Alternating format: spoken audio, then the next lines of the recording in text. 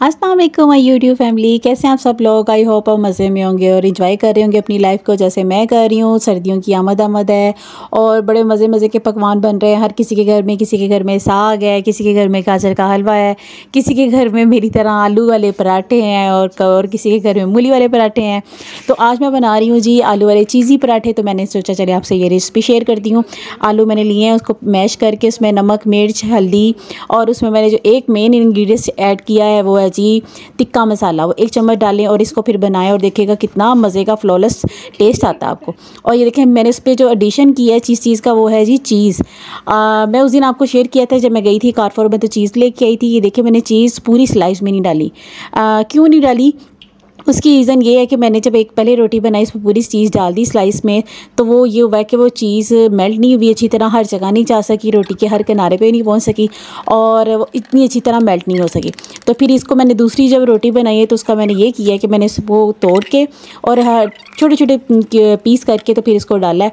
तो अब इसका ये रिज़ल्ट मिला जी कि ये चीज़ पूरी तरह, पूरी रोटी में स्प्रेड हो गई है और हर एक कॉर्नर तक चले गई है जहाँ जहाँ उसको जाना चाहिए था। उसके बाद ही मज़े की फिर मैंने ये पराठा बनाया है और आपको तो मैंने वैसे भी बताया हुआ है मेरे घर में मज़े का पराठा बनता है क्रिस्पी सा कि जिसमें से कड़च कड़च की आवाज़ आ रही हो तो वो जिस टाइम मर्ज़ी बने। वैसे माशाल्लाह मेरे घर में तीन टाइम ही घी वाली रोटी बनती है अगर सुबह पराठा बन के है तो ठीक है वरना दोपहर में और शाम में मेरे बच्चे घी वाली रोटी ही खाते हैं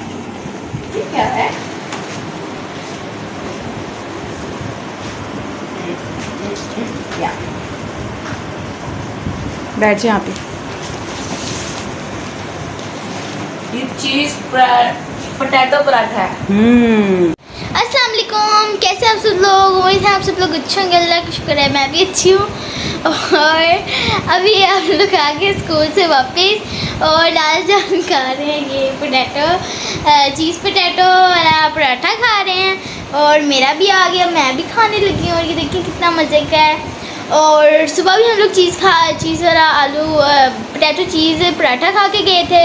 और बाबा के साथ बाबा जान के साथ होते हैं तो खाया जाता है। बट ना हम लोग रोटी सुबह सुबह नहीं खाई जाती क्योंकि बाबा के साथ हम लोग मिलकर ना सब कुछ चीज़ें खा लेते हैं। वैसे हमसे ना कुछ नहीं खाई जाती। और जान आपको कैसे लग रहा है ये चीज़ें तो अच्छा लग रहा है। मैं तो इसलिए दोबारा बनवाया दिया जानी ने कहा कि आप लोगों ने मतलब चीज़ अब रहने दूँ या अब वो चीज़ खानी है तो डाल जाने का। नहीं नहीं मुझे चीज़ डाल के दें। मुझे बहुत अच्छा लगा जिसकी वजह से मुझे दोबारा से चीज़ डाल के दें। और लाल जान ने स्पेशली लाल जान ने कहा था कि मुझे चीज़ डाल के दें और स्पेशली लाल जान की वजह से ही चीज़ डली है। और चीज़ तो मेरे मुझे बहुत अच्छी लगती है। और हमें बहुत अच्छा लगा है ये। है ना लाल जान? जी। आप अपने सब भी अपने बच्चों को ट्राई करवाइएगा ये। और ये पोटैटो चीज़ वाला पराठा आपको हमारे व्लॉग में मिल जाएगा। आप लोग बनाइएगा, अभी बहुत मज़े का बना है ये। और अपने बच्चों को भी खिलाइएगा और हमें ज़रूर बताइएगा इसका फीडबैक कि आपको कैसा लगा अच्छा लगा या नहीं लगा। और कमेंट्स में ज़रूर बताइएगा। थैंक यू अच्छा जी, जो पहले आपको रिव्यू दिया बच्चों ने, वो दोपहर का था और आलू वाले पराठे का था, अब मैंने बनाया जी मूली वाले चीज़ी पराठे। मैंने कहा, चलें, आपके साथ ये भी रेसिपी शेयर करती हूँ। सेम एज़ इट इज़ मैंने ऐसे ही बनाया है, मूली क्रश की, उस पर नमक, मिर्च, हल्दी डाली और इसमें भी मैंने तिक्का मसाला डाला है। और उसके बाद वैसे ही सेम जैसे मैंने आलू वाले पराठे बनाए, वैसे मैंने सेम इसको भी बनाया है। लेकिन फिर भी मैं आपके साथ इसकी रेसिपी भी शेयर करती हूँ और आपको दिखाती हूँ कि मैंने इसको कैसे कैसे कंप्लीट किया है। ये देखिए जी मटीरियल इसका जो मैंने तैयार अच्छा जी, इसके मटेरियल में सिर्फ़ मैंने चार चीज़ें यूज़ की हैं, एक नमक, एक मर्च, एक हल्दी और चौथी चीज़ है जी, टिक्का मसाला। आप ये चार चीज़ें मिक्स करके तो इसके साथ ये बनाएगा मूली वाले पराठे और यकीन माने इतने यमी बनेंगे आप जब भी बनाएँगे, आप मुझे दुआओं में याद रखेंगे कि किसी ने कोई अच्छी और मज़े की रेसिपी बताई है कि पराठे तो हर कोई बनाता है, लेकिन इस तरह पराठे बना के खाने का अपना ही एक मज़ा है, अपना ही एक टेस्ट है। तो आप मस्ट ट्राई करेगा।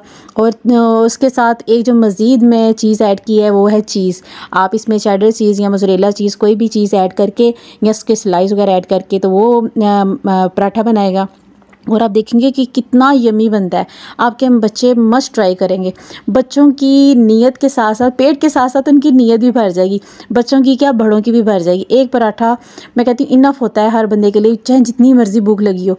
जितनी ये फीलिंग के साथ और चीज़ी पराठा है ना, बहुत यमी है। तो आप मस्ट ट्राई करेगा और मुझे अपना फीडबैक ज़रूर देगा। कल मिलते हैं। अल्लाह हाफिज़।